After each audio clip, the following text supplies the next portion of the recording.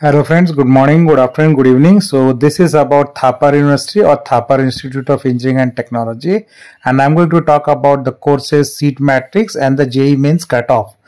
So before that I'm also going to talk about the counseling process, right? So you can see this is the official release from the college on 7th May 2024 and this talks about the first round of counseling will be held on 14th of May, right? So for all the students who have applied uh, for admission through JEE mains, the merit list will be declared on 14th May and the candidates would have applied already till 8th May 2024 which was the last day. So uh, your first round of counseling will be held online, right? So candidates are not required to visit the campus. So 14th May, the first round of counseling is happen is going to happen online only candidates will be able to check their branch allocation status on the online portal on the day of counseling. So that is the first round of counseling and talking about the selected candidates they will be required to pay the fees by 20th of May. So you are only given one week's time, less than one week time, six day to pay the fees. And application form which was closed uh, on 8th of May from 9th onwards it will be closed till 15th so 9th to 15th nobody can apply it will be made available for new application from 16th May onwards for the subsequent round of counseling with the application fee of rupees 2000 so somebody who wants to apply fresh they can do after 16th May 2024 with the application fees of rupees 2000 and during the counseling the branch allocation will be as per the merit. Category wise seat availability and branch preference order should be filled in the application form. And candidates will are advised to recheck all the details especially about the branch preference um, before submitting this. That was the guideline and candidates will be offered branch provisionally and if they fulfill all the criteria which is mentioned in their brochure then the admission is confirmed. So now let me come to the main topic of this which is the cutoffs right? And before that we should know the total amount of seats which are available for this year. So this is 24 25 seat matrix and you can see the branch and the branch code which is very important. Biomedical engineering 30 seats. Biotechnology 90 seats. And chemical engineering CHE is the code. And 60 seats. Civil engineering CIE is the code 60 seats. Civil engineering with computer application 60 seats are also there. And computer engineering is COE with 960 the highest number of seats is with computer engineering. Computer science engineering in the Patiala campus, COPC, is 366.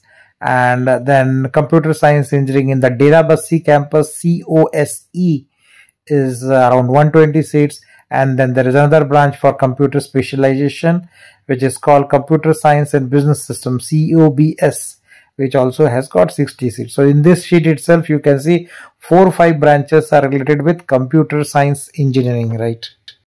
Now moving to the next, which is electrical engineering ELE, 90 seats are there, and then electrical and computer engineering EC is the code, 120 seats are there, and electronics and computer, engineering ECE is the code, 240 is the seats total, and electronics and computer combination is also there which is ENC and 360 seats are there. Then there is a new branch which is electronics engineering and specialization in VLSI design and technology.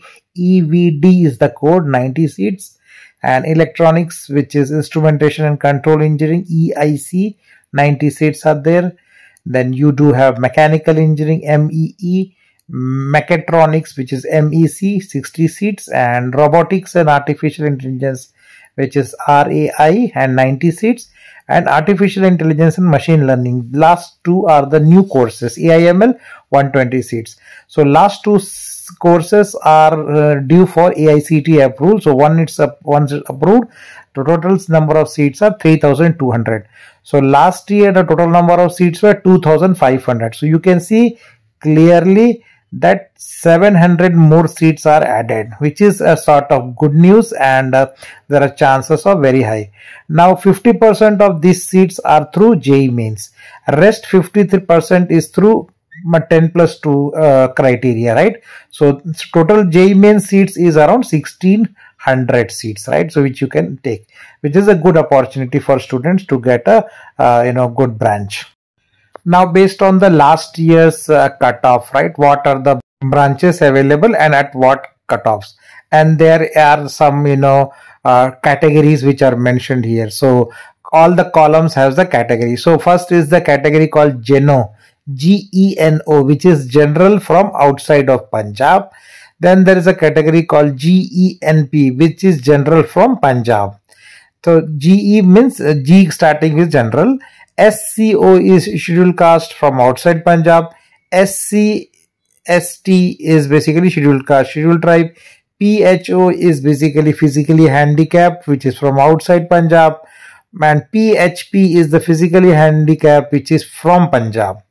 STO is the scheduled tribe from outside Punjab, and S and BC, BC is for backward class from Punjab.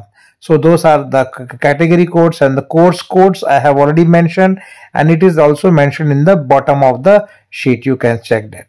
So you have seen that you know COBS right, which is computer science and business system general category cutoff is uh, 96 percentile 96.66 sc uh, open category for uh, outside punjab is like 80.47 and st outside punjab is around 56 percentile coe which is uh, now the next branch which you can see here is computer engineering. And uh, 94.47 is the uh, percentile cutoff for general category and uh, 66 for SC and ST it was still open.